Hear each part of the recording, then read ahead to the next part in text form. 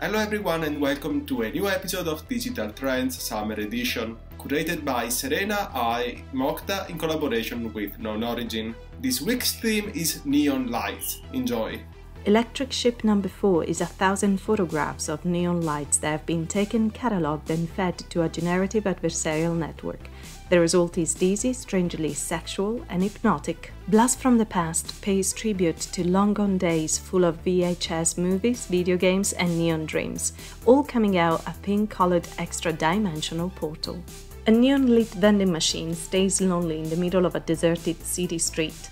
Tokyo based photographer Matt Dreams Neon captures a moody picture in neon drinks. MCHX creates beautiful and colorful compositions that look like cover pictures of 1990s experimental techno jazz music albums by obscure bands.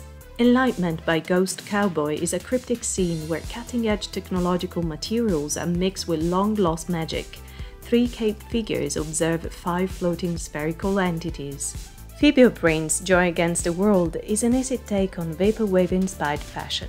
The jacket seems perfect to be worn while visiting Neon Tokyo or Blade Runner's futuristic Los Angeles. We do not know what is transported in special delivery by Neon Wasteland, but it surely feels like something out of this world.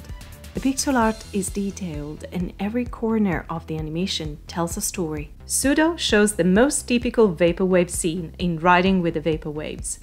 An ancient Roman sculpture rides a sea turtle floating on a synthwave surface. Midnight Metro, created by Nimbus the Sky Kid, is a chrome-filled hallucination. The colorful characters riding the metro mirror the jazzy color palette. Svei Yes is a photographer working in Hong Kong, and in Last Night, one of his latest work, the artist brings a nostalgic discovery of a big neon sign that lights an empty street at night. Thank you for watching this episode. See you next week.